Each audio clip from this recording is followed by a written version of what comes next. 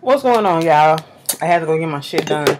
So the video would have been out earlier, but you know, I had to go to the shop and they had to work some wonders on my head. Thank God. But, you know, let's get into this video. Um, as I stated, if you follow me on Facebook, you follow me on Twitter, and you follow me on Instagram, I put up there that I won't be doing individual reviews for uh, Braxton Family Values like I usually do. For the simple fact that, and it's no shade, it's just that I'm busier on those days. Uh, you know, I got shit to do and all that stuff, and I just don't feel like it. So, you know, I never said because for some reason people want to get all in their feelings because I said I'm not going to do a, you know, individual review, but I'm going to put it in the what it is video, you know, at the very beginning like Jesus. I didn't say I wasn't going to review the show. I just said it wasn't going to be like it usually be. Some of y'all reading comprehension ain't y'all um, forte. And you know, you start that shit like in fourth grade or whatever. I'm just saying. I'm just saying. But you know, it is what it is. So, you know, that's how it is. The Braxton Family Values, um, you know, episodes. This this still season four. They're going to continue with this is episode 11 that came on yesterday. Yes, I do put it up on Daily Motion. That was up last night. But um, other than that, you just have to wait till the what it is today. And, you know, get it on Friday whenever I put it up after I come out to work. You know, you'll still get your stuff, but it just be a little day later whatever than you usually do. So, no need to be asking. Even though I'm pretty sure I'm to see the question in the comments like, where is the I just said it. But anyway, let's get into the review of the show. Um because I know a lot of some people want to see and hear about that first and I usually put my um, TV reviews in the end if I do it on what it is but I'm gonna just start doing it at the beginning for the Braxton Family Values because that's the only thing that I watch on Thursday. I did not get to see all of Cutting Up. Cutting Up in the ATL or whatever. I saw parts of it before I turned it off because I wasn't focused on it. I had to go to sleep. But um the part that I did see and the part that the person that I think I'm gonna like out the show, and no I'm not reviewing that like that. I might talk about it. But from what I've been hearing, Beauty with two eyes. I knew she was gonna be some bullshit when um she had two eyes at the end of her name. Mm-hmm. I just knew it. But what's the girl name? Messiah, Musasa, whatever the fuck. Mufasa, I don't know. From the Congo, because she's from the Congo. Okay? With the natural hair, child, I like her. And that's just from that little clip that I seen when they was, she was uh like interviewing these girls or whatever. She was like, so why are you here with a straight weave and a natural hair salon? I said, you better ask that question. Come on, Beyonce weave. I said, that's a little shady, but I would ask the same question, okay? I do nothing but natural hair. We don't put weave. We don't put all that chemical and stuff in there. Why would you come in trying to get a job or whatever, represent my company, and you have on a fucking sew in lace front or whatever the fuck it is that you got? But, you know, that was cute. I gotta look at it. I'm gonna look at it when I finish this video. But, Braxton Family Values came back, like I said. And last season, well, the first half of this season, I was over it everybody was kind of over all the drama. You know, people was getting beside themselves. People needed to humble themselves a little bit, you know. But I really, and I'm gonna be 100% honest. I wasn't even hyped when this first, when this they said that it was coming back. I knew it was coming back, but I just really wasn't hyped like I usually be. And I think it's because I really feel like the show has run its course. I do. So if it was to say that the show is not coming back for a season five, I wouldn't be surprised and I wouldn't be sad. You know, I'd be like it was good while it lasted, you know, trying to move on to other things. But the episode started off this episode eleven, um, still in season four. Episode eleven, go for the jugular. Now let me tell you something. Tamar. Tamar needs to be slapped for this reason and this reason only. When she was sitting at that table with Toni. And she said, you know how mama say, go for the jugular, you know, and um t- talking about the mama because mama Evelyn had to get neck surgery. You know, uh she had a herniated disc in her neck and she was in a lot of pain and when she was at Tamar house or I think it was Tamar house and she was just in there you can just see the pain on the face whatever so I knew this season was about you know her and her surgery basically about Mama Evelyn and then mostly about Trina we'll get to that in a second but when Toni and Tamar was sitting there talking okay and then when she said that about her, you know, they're gonna go through the neck and go through the jugular and all that stuff, yada yada yada. Tamar said the jugular. I thought jugular meant balls.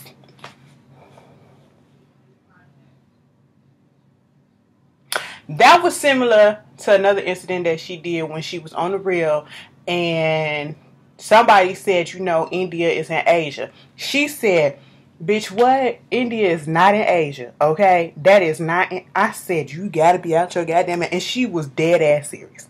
She was dead ass serious. India is not in Asia. All right, Tamar. You know, you too old for this. I'm just saying it was funny, but girl, you know, and it's funny because she be dead ass serious. But moving on from that, um, we going I just this episode was cute coming back. It wasn't as much drama feel, you know, they wasn't going at each other because y'all remember the last episodes for the first half of the season, they was all at each other's throat because Tamar was in her feelings about the girls coming on, you know, the stage with her and, you know, they keep on fighting and all that stuff. And um Towanda and Trina Trina keep that cute little cut. When she came into that store to get the appliances for her um bar chick stuff, that was cute. That cute little cut. I said, wait a minute, is that Toni? She favored Toni right in and there. I was like, that is so cute on her. But they was talking about stuff, and then that's when Trina spilled the bills, uh, be, be, be, spilled the beans to Towanda and said that she's getting a divorce from Gabe. And she's already filed. This time it's for real. And, you know, she was basically like, uh, keep it quiet. I'll tell the girls because she don't want them judging because she know because they nobody nobody in the family was here for her and Gabe still being together. We all know this, and you know. It just reminds me so much of when I used to do the reviews back in the back, and everybody I used to always say she needs to go ahead and divorce that motherfucker. And then it always, it never fails that it be people up in the comments be like, a man and a woman, you know, you take vows for better and worse, and they should stay together and work it out. And why would you want them a divorce? And I'm sitting here like, so you would put up with that bullshit? You make you another breed because Ashley wouldn't, you know. And um, Trina should have been divorced his ass, and you know they basically it's almost like they making this whole season gonna be about Trina and her bullshit with Gabe, and she got some secrets and stuff to tell about what he actually was doing, but they not telling it yet. And I'm like, so you gonna drag this out probably until episode 16, 17. That's when we gonna find out what the fuck Gabe really been up to. But basically, um, at that little dinner with Tamar and uh, Toni, you know, Towanda had called. No, actually Tamar had called Towanda because she wanted to get, you know, what the real meaning of juggling meant. I'm sitting here like, girl, unless you're talking about juggling balls, no, jugular is in your throat, you know, your neck, okay? Go for the jugular, you know, cut that bitch jugular, hit him in the throat, you know, shit like that. But that's when I guess somehow Trina came up and it was like, Towanda was like, you just need to talk to your sister. I'm sitting here like, Towanda.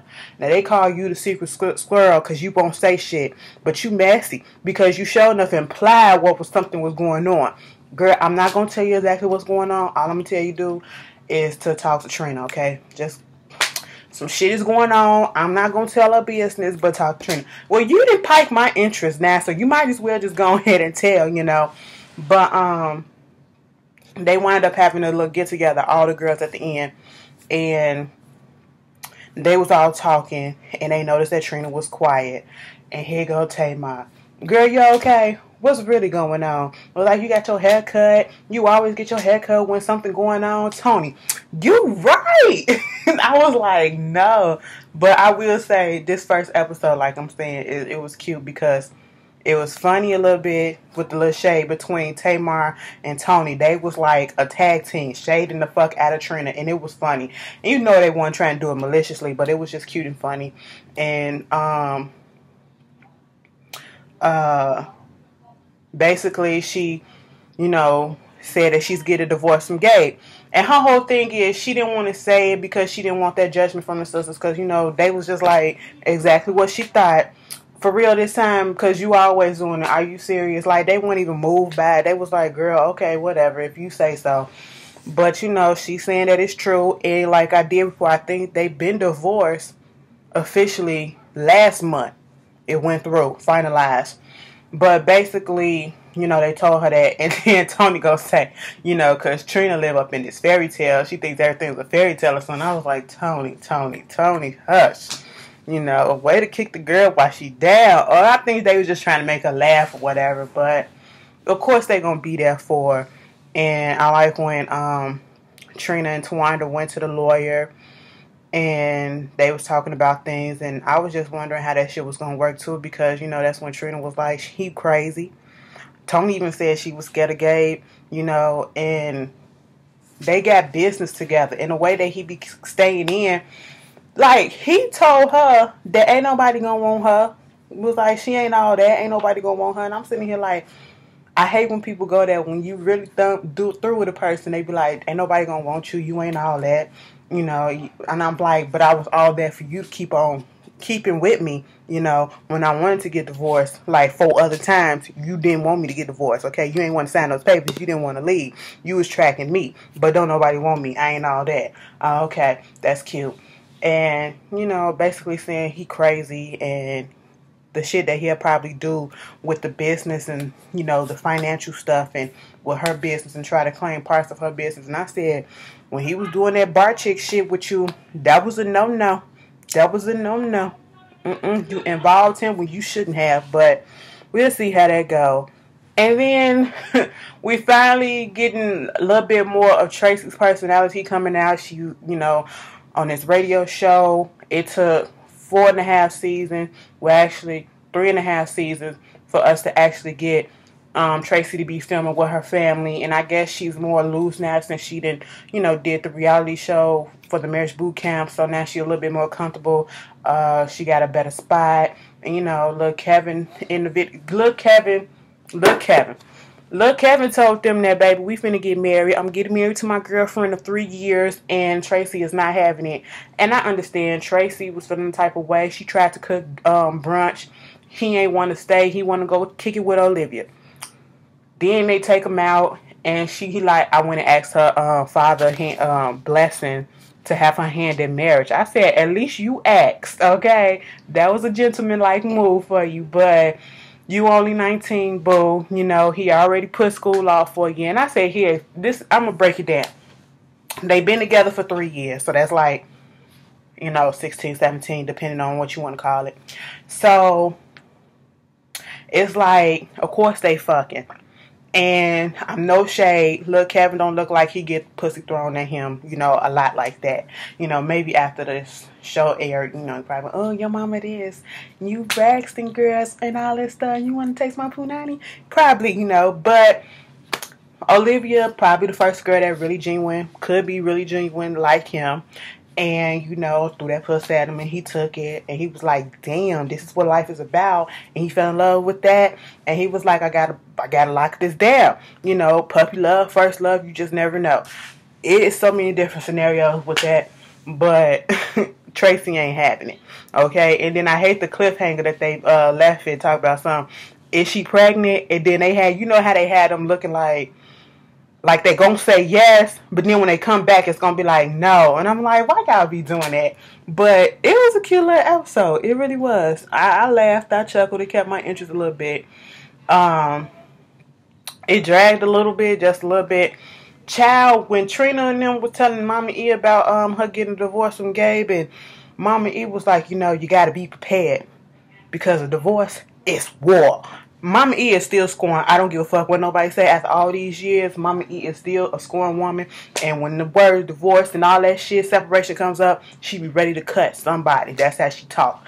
But hopefully the rest of the season will go like this without all this bickering, bickering, bickering. But I honestly don't want to see all this shit about Trina. Like, let it be all about Trina. Like, let it equally be about everybody, you know. But that was Braxton Family Values. Um... Now let's get on to some other news. Some uh, other fucked up news. Josh Duggar from the Duggar family. If y'all know Jim and um Jim Bob and Michelle Duggar, they got 19 kids and counting, and that's the show on um TLC. And their oldest son is Josh. Um, when he was a teenager, he molested like five girls, and I think a couple of them probably was his own sisters. And I have, and it had to be somebody that they knew that he was doing it to, or you know, a sister or whoever, because they said the father saw him coming out of one of the girls' room, a room with the girl or whatever. So I'm figuring, I'm thinking like. The only way that that probably would make sense is if they was at home and he saw him coming out one of the daughter's room at a late hour because they said he was molesting them and they, and they sleep and shit. And this is when you like 14, 15 years old and shit like that. And instead of automatically reporting it to the cops, he did report it to somebody else. They talked about it. They tried to send him away, get some help for it. And then he came back, he did it again. And that's when I guess he talked to a cop and they didn't file a report. This cop goes on trial. So all his stuff for some shit that he did so all his stuff is being laid bare about all the reports and stuff that he's done. And then this comes up. And then it gets to a tabloid magazine. And then I'm thinking like, hmm, let's see how they gonna spin this. But he basically didn't deny it. He came on out and said that this happened when I was a younger, uh, when I was a teenager. I learned my lesson. I knew the path that I was going down was wrong and all this shit. Mind you, he's married and he's about to have his fourth child. And I think he got at least two girls. One, I know he got one girl for sure, but um, it was just, and just like they did Honey Boo Boo, they cut the show off because I was like, this is not gonna stay on. This is not gonna stay on. See, I know they. This is one part of y'all bread and butter. Okay, doing this show taking care of them kids. Not saying that the daddy is poor or whatever. And, you know, he probably was doing something because when the show first got started, um, they used to do this special and they did this special when they was trying to get this big house and they was fixing it up. It was like this big old factory that they fixed up. Bitch, I used to watch it way back and way back when it first started. I did, but I just fell off. I just didn't care no more. And, you know, after that, um, it came out today that the show was gonna get canceled. Not they didn't say canceled, but they pulling it from its schedule, the schedule, Aaron's schedule, and um, basically they don't know what's gonna go on. So I'm just gonna say it's canceled because you know, like everybody said, the same thing that happened with Honey Boo Boo. Remember when June or whatever was going with the man that was um had sexually abused her daughter or whatever, and they found that out and they said no, we don't condone this shit. You canceled, okay? Honey Boo Boo got canceled, so basically the Duggars 19 and counting going that way too. And um, it's really fucked up because I did not know all of this about the Duggar family, or at least Josh, whatever, because I don't pay attention to them like that. I'm like, oh, this bitch pregnant again. Fuck, her uterus should be just gone. Like she should have no fucking walls.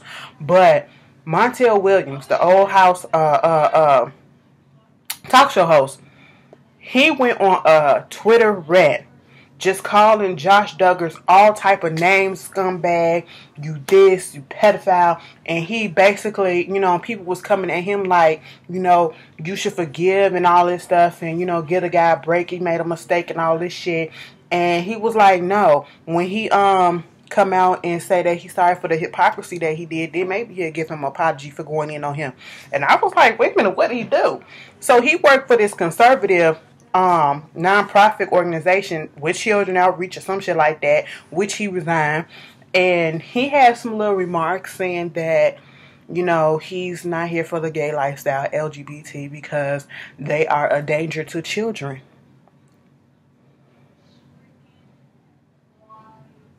The gays are a danger to children. Yet you admitted to touching little girls that were younger than you. I don't give a damn if you was 14, 15, 13, bitch. You know. You know. Okay? They laying in the bed, they say go ahead and touch my cootie right here. And they younger than you. Come on now. And But then you admit that, but then, you know, gay people are a danger to children. You know, karma. this funny thing called karma. When that bitch come around, Lord, don't she come around. But um, y'all tell me how y'all feel about that. Then out there in Waco, Texas, we got this earlier this week or probably at the end of last week. I don't remember, but they just came out with this biker gang that happened. These two biker gangs. I was like, wait a minute, Sons of Anarchy, this shit really do be happening still? You know, I remember when the Hell Angels was really at their heyday. I used to look at shit like this, you know, like on Gangland and stuff like that. They need to bring that back.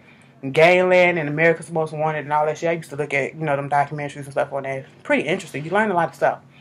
But they had a shootout. They had a shootout at this this club, bar, whatever the fuck it is. And um let me turn this off before there you go. And nine people got shot, over hundred people got injured, and basically they just it felt like they just washing it under the rugs, like it ain't really that like it really ain't that big of a deal.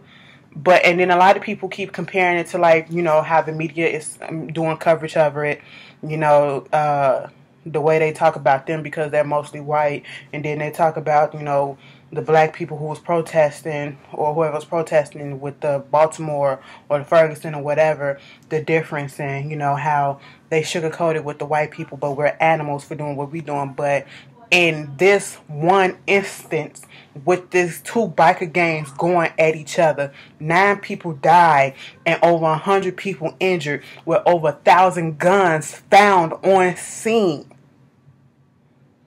But we're the animal. They're not thugs. We're thugs. Bitch, they're just as much as thugs too. They're just a different color. I don't know what. People don't understand thugs come in all shapes, sizes, colors, nationalities, okay? And that's exactly what the fuck they are. They are a gang too. So, hey, it is what it is. Y'all tell me how y'all felt about that. And um it was this uh Denver mom, you know, people debating about whether what she did was right or not wrong or whatever. She, I guess, did this video publicly shaming, if you want to call it shaming, her 13 year old daughter. And I honestly don't feel like nothing that she did was wrong. Okay? If you grown and old enough, you want to act old and be grown and and do the shit that you're doing, then you can suffer that consequence. You want to put yourself out there. You want this attention. I'm going to give you that attention. And I'm going to put this shit on Facebook or whatever to let everybody know that, hey, my 13 year old daughter is on here, Facebook, something that she wasn't even supposed to have, posing and saying that she's 19 years old and posting racy ass photos. Mind you, this is not the first time that she's done something like this, nor the first time that she's gotten in trouble like this. Because I think it was a few more incidents that she had did the same thing and she got ass in trouble for it and she just won't learn until somebody come along and you know do something to her ass you know? And that's just hey y'all don't want the fucking parents you know whooping the kids and because then you're gonna say that's child abuse. So hey fuck it you did I'm whooping your ass and telling you to your face and all this shit. Let me film this shit and put it up there and see how you want. That's the attention you want. I don't think that that lady did anything wrong. You know, it is what it is. Um, I guess RIP to the rapper Chinx. He was a friend of French Montana's. I guess he was in um his little crew or whatever. And I say it like that because I never heard of Chinx, Montana. I mean Chinx. and the only Chink that I heard of was Chink Santana, and I just heard of him from um Love and Hip Hop when he came on Love and Hip Hop. But apparently this was a rapper that was um a New York based rapper that was within the crew with um French Montana. I don't listen to French Montana shit either, so I don't keep up. The only thing I know about French Montana is that he fucking around with Khloe Kardashian on and off, okay, and probably at one point in time was fucking with Trina. You know, that's that's the only thing that I know about him. You know, but basically he was set up, if you ask me, and it was delivered. I think they say he got shot like 15 times sitting in the car whatever. Yeah, they knew what they was doing, and um, it's fucked up. And what's really more fucked up is the fact that his death is getting overshadowed by the controversy of him having um maybe possibly having a side chick in Malika Khloe friend, one of the twins from ATL, you know, and um, you know, people like, cause the wife came out like he was a good father, a good husband, cause they got like three kids and all this stuff, and you know, Malika had put a post up with them hugged up on the yacht or whatever, saying how he's gonna be, you know, never forgotten and all this stuff and yada yada yada. oh, you ain't gonna do shit. But anyway, you know, it, um, they was like basically the family members coming out saying, you know, that that, that bitch ain't his wife. What y'all need to be fuck sympathy to the sad bitch, give it to the wife and all this stuff. And I'm like, it's fucked up that this man died and this is what y'all doing. And I remember I seen when the shade uh, shade room post part of the interview of the wife, you know, and people was like, wife. First of all, I just don't read the comments sometimes on the shade room because their comments, you know, they attract people who really have the intelligence of a nothing. Okay, and I'm just sitting here like, now you hood bitches acting dumb as fuck. Wait a minute, wife? But wait, I thought Malika was his girlfriend. Wait, how can he have a wife and a girlfriend? I'm sitting here like, are you fucking dumb? You mean to tell me y'all don't know, uh, understand the concept of this, of a married man or a person being married having a sad bitch? That's why it's called sad bitch. Sad piece. Sad hoe. Jump off, okay? Girlfriend, boyfriend, you know, that thing on the side, alright? That's, I'm sitting here like, are you fucking serious? Are you serious? Y'all really asking this dumbass question? And they was dead ass serious. Like, I don't get it. I don't get it. I'm pretty sure y'all look at Love and Hip Hop to get this shit. And half of them motherfuckers commenting, been a sad bitch a time or two. But anyway, that's basically what it was. And, you know, condolences go out to her. And I think they found, uh, started a GoFundMe for me for the family or for the kids or whatever. It's sad. But you got to watch your surrounding. I know that question came up because I was listening to the Breakfast Club. They had posed a question like, once you get successful and you come out the hood, you don't need to go back to the hood, like staying in the hood. Okay, you can still support and, and, and all that stuff, but you ain't gotta live that, especially when you done shit. Come on now, you gotta grow. You gotta move on. Um. Speaking of love and hip hop, they said they banned in the fights. I guess at the reunions or whatever. If you try to fight or whatever, you gonna risk the um take a risk of getting fired. I don't. How y'all feel about that? Sometimes that be the best part, but you know, hey, it is what it is. Let me get into this because I did talk about the feeling myself video at um on the Love and Hip Hop. It ain't much to it. I like it. I love it. The um Brittany, Brittany, oh bitch. Nicki and Beyonce, they look good in it. Now, what the controversy of, of it is now is Nicki had this shirt that said pervert 17. And people was like, oh, that shade to Tyga, that shade to Tyga, and all that stuff. And then a picture came out. First of all, um, somebody went and did their research and was like, no, boo, she didn't have this shirt specially made. Givenchy that's their shirt, you know, and that's their collection. And literally is, you know, pre, uh, pervert seventeen, you know. And then they was like, it ain't shade to Tyga because Tyga had on the same a similar shirt that said pervert seventeen a couple of years ago. And I was like, see, y'all always want to make stuff deeper than it is, but I can understand how it could be perceived as shade if you don't know and if you want to assume and if that's what you're about and um I don't think they intentionally be messy like that because you know both of them on Barbershop 3 they filming the movie together. Go fucking figure. But then again you never can really know with these celebs these days. They be underhandedly shady subtle so subtle that you miss it you know. But um Google and this nigga house first of all who the fuck is typing in nigga house for Google, and then a White House pop up talking about some something they was hacked. Like, who really is sitting there saying Google nigga house? And then a White House pop up. Like, first of all, why are you Googling nigga house? But we all get what that's about, you know. Mm-hmm. we didn't see this, we didn't know. Girl, get the fuck out of here. But that was basically it. Oh no. Oh no. I'm ending this video on a good note. It's Memorial Day weekend. Of course, I want y'all to have a good time and I want y'all to be safe. But my week was made when Janet Jackson opened up her mouth. She literally did. All of a sudden, probably like at the end of last week, on the weekend, earlier that week, she was retweeting a lot of stuff. I said, and usually when she started tweeting, when she ain't had nothing out, it usually be like sent from Janet team or you know Janet tweets this or Janet changed this in her lifestyle on her website. It's her team that's tweeting for her. But she was on there retweeting all of a sudden and then she responded to a couple of things and then she just retweeting and retweeting. And I'm sitting here like, what the fuck? And then you got Jimmy Jam, he tweeting about this quote, this quote, this quote and then hashtagging it conversations in the cafe and all this stuff and i'm like oh shit what's going on?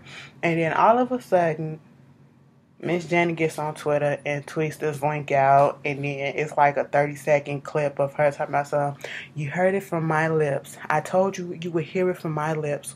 I've been listening okay? She was sounding ever much so the phone sex operator you know that bitch is 49 years old. Mind you, she did it on her birthday. I said, girl, you know what you're doing. You know what you're doing. She was like, I've been listening. Basically, what I interpreted that is, she been listening to us saying, Janet, bring your ass on out here. You know, um, I'm tired of waiting. Where the fuck you been at? It's been years. We need some new music. Where did you go? Come up out the sand, okay? You got that rich dick, all right? We know you having fun, but come on back to us, to your home, all right? And she's been listening to bullshit that's been coming out, you know? Okay, and she has to come back and say, you know, I gave y'all y'all time to, you know, fuck it up.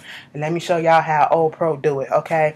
And I don't give a fuck if Janet sells or not. The bitch said that she's coming out with new music. I'm there. She's going on a war tour. Bitch, I am there, okay? I don't give a care if the shit goes negative plastic. Ashley will be listening to it. Ashley will be there, you know.